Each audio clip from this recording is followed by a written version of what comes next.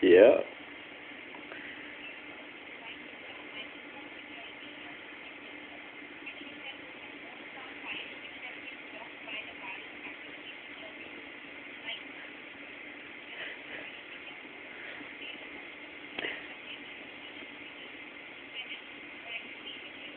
a Pentium 3 won't Windows 7?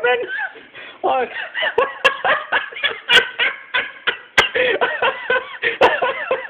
That's the best joke I've heard all week. Oh, you've been such a good sport. I'm going to let you go now.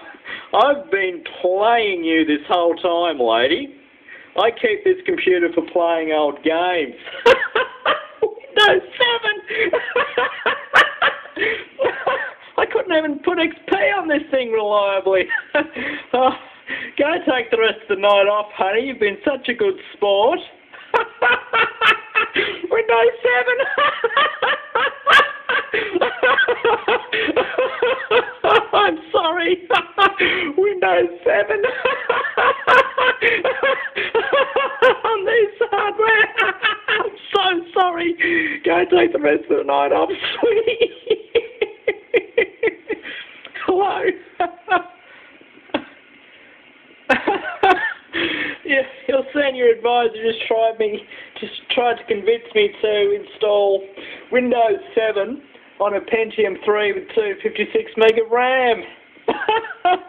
You've all been such good sports. I've been playing you for fools this whole time. I'm a computer security whiz. Keep this old computer for playing games. You, you go and take the rest of the night off. You've been such good sports. Windows 7 on this. Penny 32 Windows 7.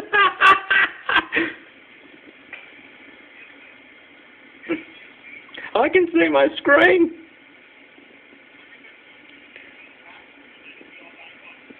I've got the desktop.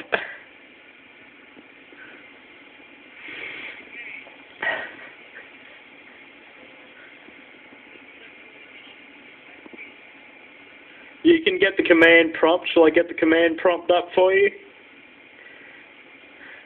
Just one moment, please.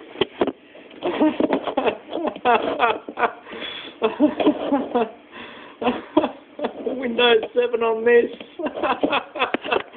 there you go.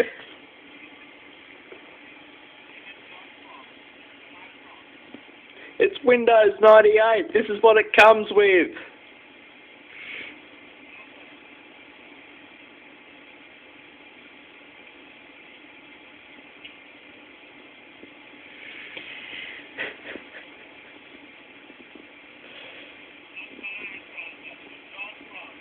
That's right, it's Windows 98. That's what it has.